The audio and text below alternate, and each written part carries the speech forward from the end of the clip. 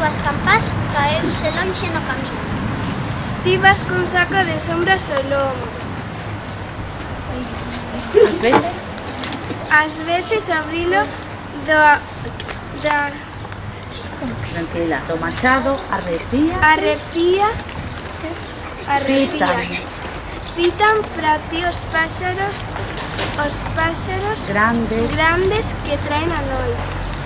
Bule, bule. A noite está indecisiva. Non fales en voz alta, non cantes ninguna canción.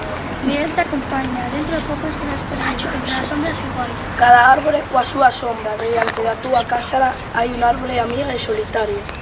Mais este é un bosque, de repetidas sombras verticais. Xa non ves as túas mans, poucas está cerquiña e lonxe.